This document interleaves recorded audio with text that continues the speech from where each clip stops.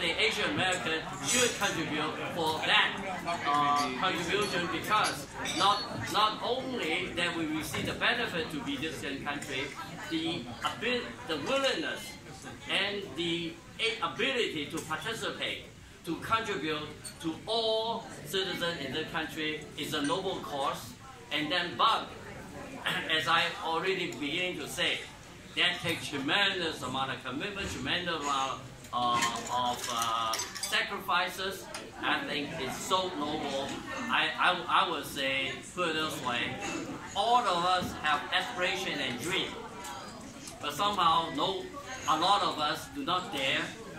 A lot of us do not have the qualification. And, and then now we have somebody to represent us. I think it's so important. I think it's so inspiring. I, I, I would say continue, we will persevere, we will win. I think the thing is, we win in many aspects. We win in our self-worth for everyone who participated. We will win for those people who are yet to be participated, and they will really benefit for this experience. And then so therefore, I have the confidence we can go all the way. I'll say for, for that, my my my little uh, appreciation is very little compared to what lies in front of us. So therefore, my, my feeling is that all of us, we should get together. We should gather together.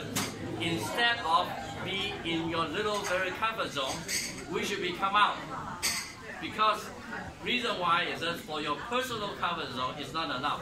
We need comfort zone for all Asian Americans and ultimately for all comfort zone for the whole United States of America because we want this is a country we can build.